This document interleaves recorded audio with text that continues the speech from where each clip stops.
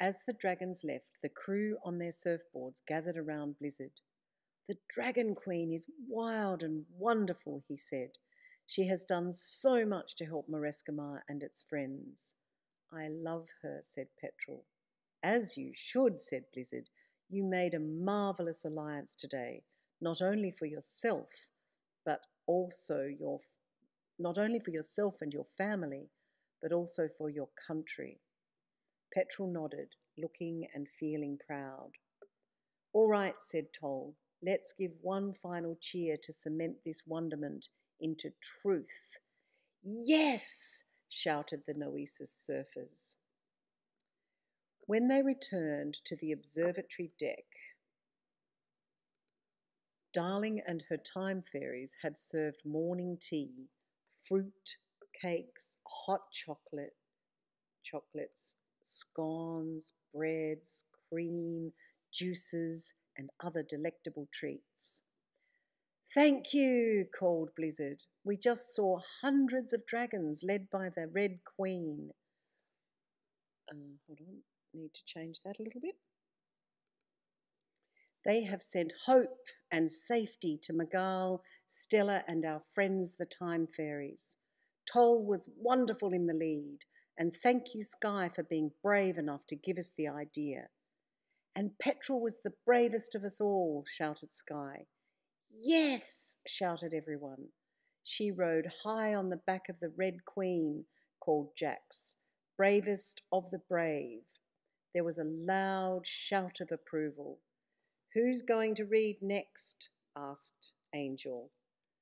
Me, shouted Petrel. Angel smiled and handed Petrel the tattered pink manuscript. Go ahead, said Angel, and then she whispered, Well done, my brave friend. Petrel grinned from ear to ear. Chapter 47. Oh, sorry, Petrel grinned from ear to ear.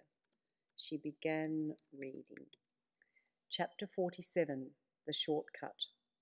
When they'd changed the Book of Endings, Godot grinned at Nell, his tongue hanging out. He held up one of his front paws and gave Nell a high five. Good work, he said. The best, said Nell. Now, said Godot, I'll search for the parents. You'd better make your temporary pass outs and get the three hostages out of here and back to their children. No worries, said Nell. And Godot, yes, you're sure. Oh, okay, so this is something I don't really want to say just now. I've got to change it. And Godot, yes, thanks for taking such good care of Solo while he was training in a game. He's mo- almost shining with excitement about it all. Godot looked happy.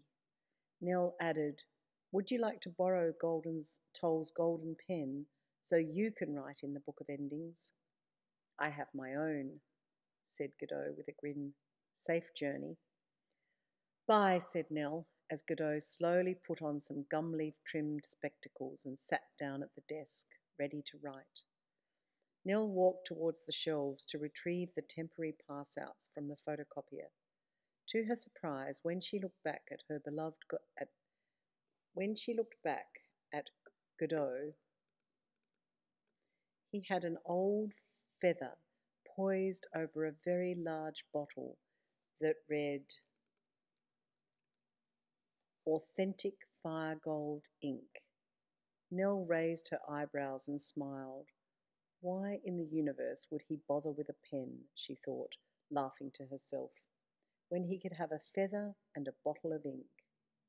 Nell gathered up the three shimmering pass outs, one for Jute and one each for Palace and Storm. Nell kissed them, and after waving a fond farewell to the library she ran back to Magran via several mirrors. Halo couldn't believe that Nell had somehow found three passouts, each one especially named for Jute, Palace, and Storm. He tossed his head and said proudly that he'd look forward to meeting the trio for a training session when and if they wanted a lasting passout. But, he added, it would have to take place within three months or the deal would be off. Then he announced, then, then he announced huffily that he had to go and see the living creatures about the fate of the thieves. Just one moment, Halo, said Nell. Hmm, okay, hold on, I need to change that as well. And with that, Halo disappeared. Nell looked at Jax. Come on, she said, we're good to go.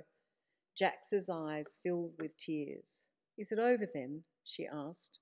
Yes, said Nell. Poor Petrel and Squid, said Jax, and the boys. She looked so sad that Nell gave her a big hug. What happens to the Overlord then? asked Toll, pointing at the stone gentleman in the centre of the Magran Square. Well, Magal will come, said Nell, and that should happen soon. So if you and Jax would like to stay and see Magal arrive, by all means do. But I'm tired, and I'm sure these people would love to see their children. Jute, Storm, and Pallas nodded, staring at their pass outs. Come on, said Nell, let's get out of here. And with that, she disappeared. How did she do that? asked Jute, before laughing at the sound of his desperation. Sorry, I just can't wait to get home. Palace and Storm nodded. Same, they said. Toll showed them the function button on the back of the cards. These passes will take us back to my house, I think, he said. At least that's where Jax and I ended up today when we used our pass outs. No one's shown us how to set any other coordinates, but we're inside the training manual now, and that's inside my parents' house. So I guess that's why, and it's inside my parents' house. So I guess that's why we'll go there. Just press them and you'll be back in the real world somewhere. Jax laughed. Whatever the real world is, she said.